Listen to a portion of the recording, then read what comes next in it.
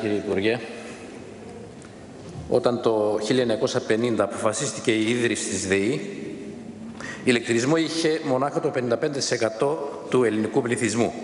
Η πρόσβαση στο ηλεκτρικό ρεύμα ήταν ένα αγαθό πολυτερίας.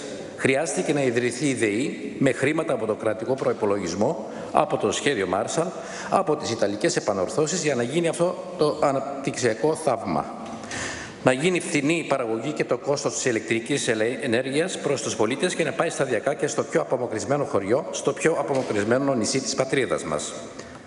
Τα βασικά συγκριτικά πλεονεκτήματα της ΔΕΗ. Μόνο μέσα από μια δημόσια επιχείρηση ηλεκτρισμού μπορούσε να γίνει ενοποίηση της παραγωγής σε ένα ενιαίο διασυνδεδεμένο δίκτυο ώστε τα φορτία να επιμερίζονται σε εθνική κλίμακα.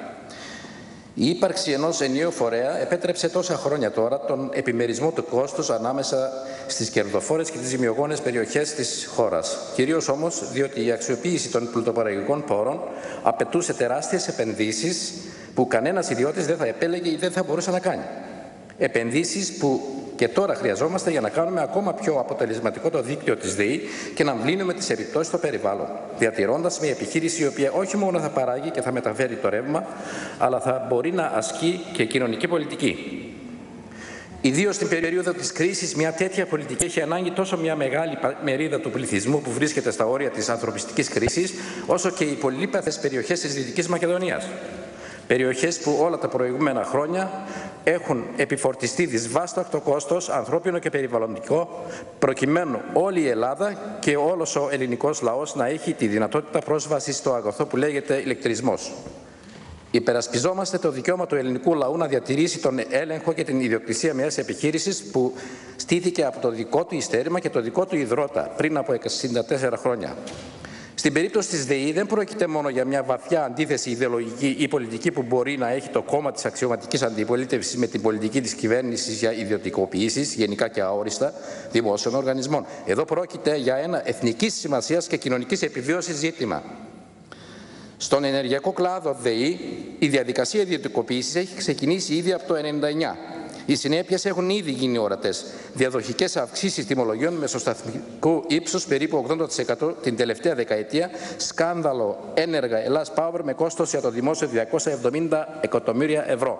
Με δεδομένη μάλιστα τη δεσπόζουσα θέση της ΔΕΗ στο ενεργειακό σύστημα αλλά και στο παραγωγικό μοντέλο της χώρας συνολικότερα, η σημερινή διαδικασία διαμελισμού της επιχείρησης αποτελεί την κορύφωση του 15 ετούς δράματος ιδιωτικοποίησης της ενέργειας. Η προσπάθεια του Πρωθυπουργικού Περιβάλλοντος να αποφύγει τη σύγκληση της Ολομέλειας της Βουλής προκειμένου να εξετάσει το ενδεχόμενο διενέργειας δημοψηφίσματος για τη μικρή ΔΕΗ φανερώνει το φόβο του για μια σε βάθος συζήτηση στη Βουλή αλλά και μια προσπάθεια να προσπεράσει τις μεγάλες αντιρρήσεις του πολιτικού φάσματος απέναντι στα σχέδια της κυβέρνησης. Παρά τις επιμέρους διαφορές, η αντιπολίτευση εκκινεί από μια κοινή αφετηρία και καταλήγει σε ένα κοινό διατάφτα. Πάνω από 120 βουλευτές εναντιώνονται στη δημιουργία της μικρής ΔΕΗ και στην ιδιωτικοποίηση της, ζητούν το αυτονόητο. Να διεξαχθεί δημοψήφισμα, έτσι ώστε να αποφασίσει ο ελληνικός λαός για αυτό το κορυφαίο ζήτημα. Η κοινή λογική, η στοιχειώδης δημοκρατική ευαισθησία επιβάλλει την άμεση σύγκληση της Ολομέλειας της Βουλής. Αν η κυβέρνηση έχει εμπιστοσύνη στα επιχειρήματά της για τη δημιουργία της μικρής ΔΕΗ, ας τα θέσει στην κρίση του λαού. Επιτέλους, ας καταλάβει πως δεν μπορεί να παίζει με την δημόσια περιουσία ερήμην του ελληνικού λαού. Έχει γίνει κάποια εκτίμηση, κάποια αποτίμηση των αποτελεσμάτων των προηγούμενων ιδιωτικοποιήσεων, κατά πόσο έχει βοηθήσει στην ανάπτυξη της χώρας, στην προσέλκυση επενδύσεων. Ένα άλλο ζήτημα και αυτό. Σε αυτή τη μάχη δεν αρκεί να λέμε τι δεν θέλουμε να γίνει, αλλά και πού στοχεύουμε εμείς. Η πρόταση της αριστεράς για παραγωγική ανασυγκρότηση της χώρας και δίκαιη αναδιονομή του πλούτου περιλαμβάνει ένα πρόγραμμα ενεργειακού μετασχηματισμού, θέτοντας ως βασικές προτεραιότητες τη σταδιακή απεξάρτηση από τα ορυκτά καύσιμα, την αποκέντρωση κατά το δυνατόν του ιστορικά διαμορφώμενου συγκεντρωποιημένου μοντέλου ηλεκτροπαραγωγής. Στον πυρήνα του σχεδίου αυτού εγγράφεται η λειτουργία της ΔΕΗ σε μια σειρά κρίσιμων λειτουργιών κοινωνικά ευαίσθητη, τιμολογιακή πολιτική, προώθηση πολιτικών για την αύξηση της ενεργειακής αποδοτικότητας και την ταχεία διείσθηση των, μικ... των μικρής και μεσαίας κλίμακας ΑΠΕ, σχεδιασμός και χωροθέτηση μονάδων, αποκατάσταση και παραγωγική ανασυγκρότηση των περιβαλλοντικά επιβαρημένων λιγνητικών περιοχών, επενδύσεις στα έξυπνα δίκτυα, στις κατάλληλες διασυνδέσεις και στις τεχνολογίες αποθηκεύσης, αλλά και συνέργεια και υποβοήθηση με παροχή τεχνογνωσίας και μέσων ε, της κοινωνικής επιχειρηματικότητας στην παραγωγή ενέργειας. Στη μονάδα παραγωγής ηλεκτρικής ενέργειας της Κομωτινής ανήκει και το φράγμα της Γρατινής που από την υπερχείληση του αρδεύει αρκετές εκτάσεις στη γύρω περιοχή. Με την ιδιωτικοποίηση και αυτού του φράγματος που ανήκει στη ΔΕΗ θα μας πουλάει ο ιδιώτης το νερό για να ποτίζουμε τα χωράφια μας. Στη διπλανή Βουλγαρία, όπου την ενέργεια την ελέγχουν πια τρία ξένα μονοπόλια, Τσέχοι, Γερμανοί, Αυστριακοί, και έχουν μοιράσει τη χώρα σαν φεουδάρχες του Μεσαίωνα, εκατομμύρια πολίτες αναγκάζονται να χρησιμοποιούν ελάχιστα το ηλεκτρικό ρεύμα. Στους χειμερινούς μήνες ένας βασικός μισθός δεν φτάνει για να πληρώσει κανείς έναν λογαριασμό. Χιλιάδες νοικοκυριά, ακόμη και ολόκληροι οικισμοί, είναι εδώ και χρόνια χωρίς ρεύμα.